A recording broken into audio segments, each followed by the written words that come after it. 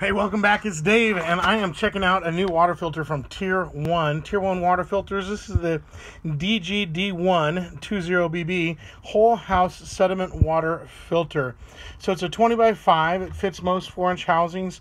Um, and it is, uh, you can see what it's supposed to be used in place of.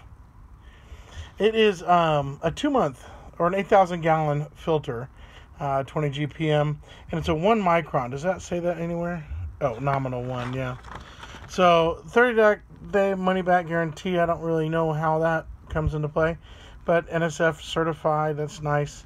Um, what else do we need to know about this? Micron rating, smaller the micron, the finer the filtration.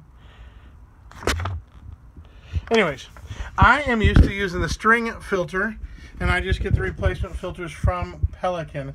This is their Easy Connect compact water filtration system. So, um, here's what we've done. I've turned off the water supply and I've uh, released the pressure out of the house.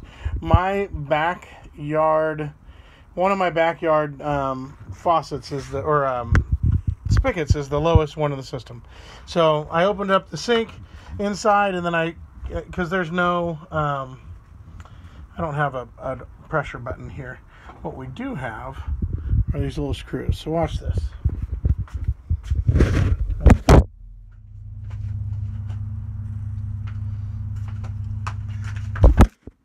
We're gonna have to loosen these anyways when we fill the system back up. So there's our, if you have a system like this, this is your pressure release. And this lets all, uh, all the air out so you can burp your system. And I only have it on the two.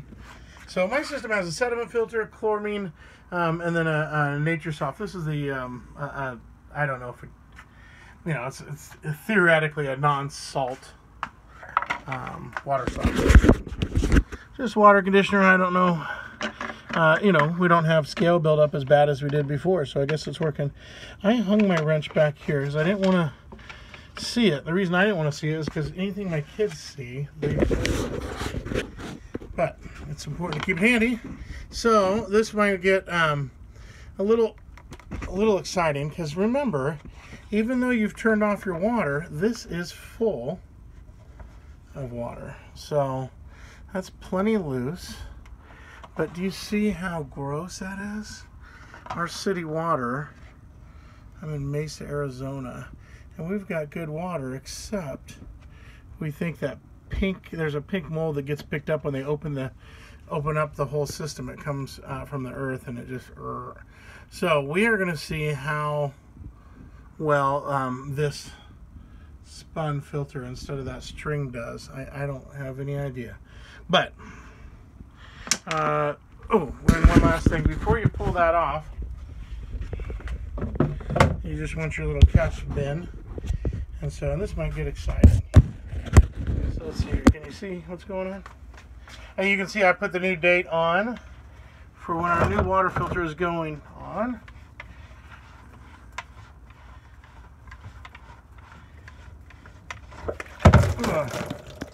All right, and now you can see how just gross that is. Yikes. Let's see what we got. Well, it's been on there for a while. I mean, not a year, but it's been on there six months for sure. It's probably been there just six months, maybe eight. But look at that.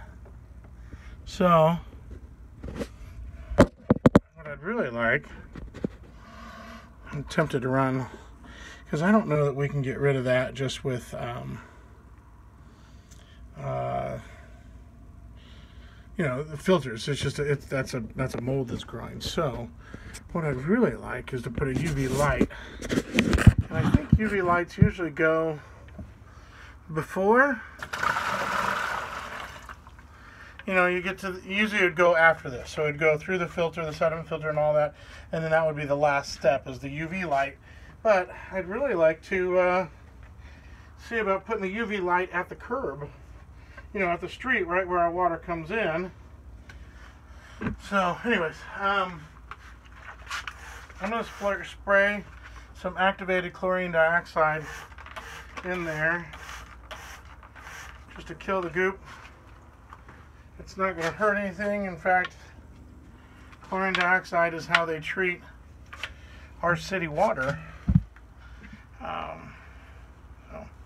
All right, and then we need some grease on this blue seal. Let me see if that says that in the instructions. Let's check. Uh, unscrew it, remove it, remove the large O-ring, wipe it clean and set it aside. Discard used filter, wash housing with dish soap, warm water, rinse thoroughly, fill a third with water. Add about one tablespoon of bleach and scrub to disinfect. Uh, that's not really going to help because we've got two more things in there. Um, lubricate O-ring with clean silicone grease. Change O-ring if any damage. Insert O-ring back in the groove.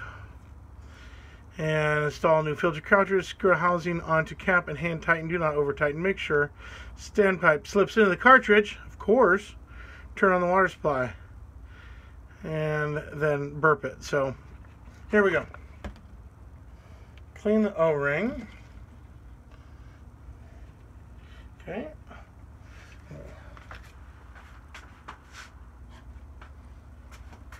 Sorry, this is off camera, you guys.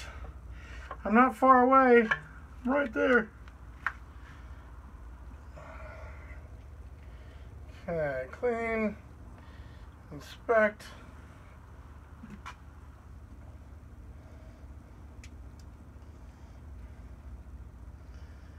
Okay, it looks good. A little discoloration. It's okay. Our housing body looks good.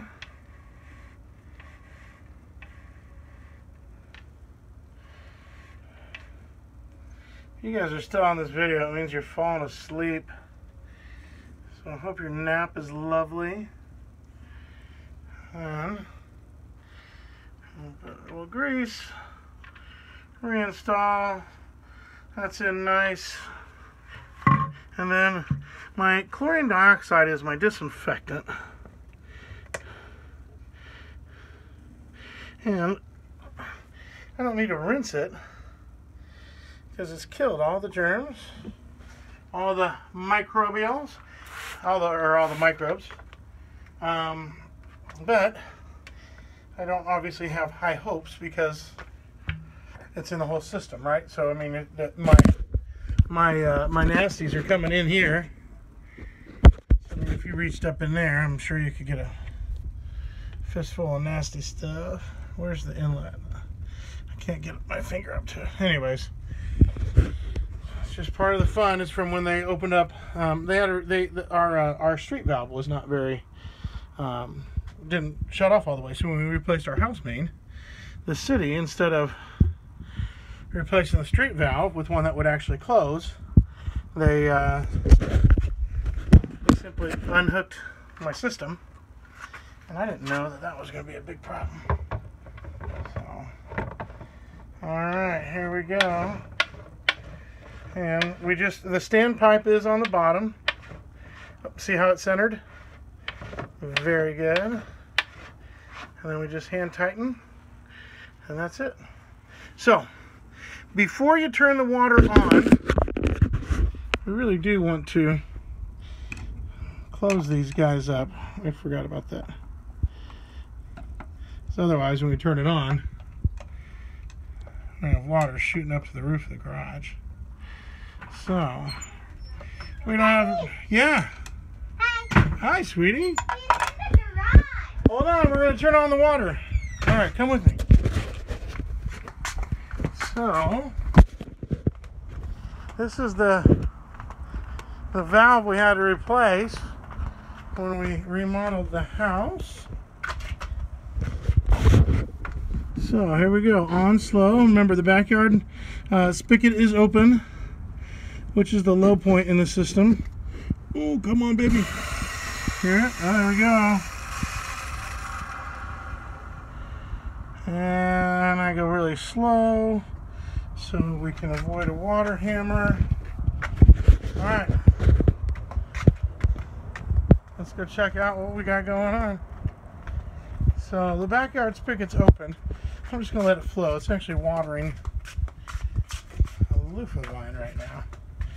And then, this is fun. We're gonna burp it. Burp it. What? We're burping the air out. Hear it? Oh, now you see the water? Yeah. That's when you know you're burped. So all the air is out of there, and I'm not cranking it down. No need to be He-Man. There's one on the last one too. This is gonna make a little mess on the floor, but whatever. See water? Yeah. Yep. Uh, Plenty, right? I was trying to get you, but I wasn't shooting, shooting the right way. Maybe next time, right? All right, and then just for good measure, this is totally unnecessary, by the way.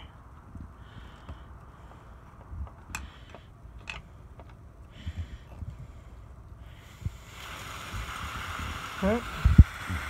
That's what you're looking for. I obviously have a area I don't really mind getting wet, plus I've got my catch bin.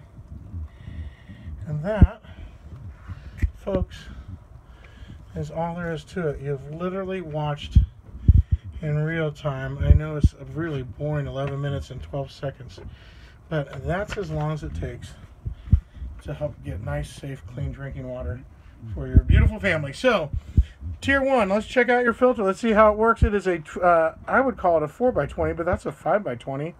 Um, but it goes in a 20 inch housing. I put my little label on there to remind me to change it. And uh, and you know what? This is a two month filter, so I'm gonna say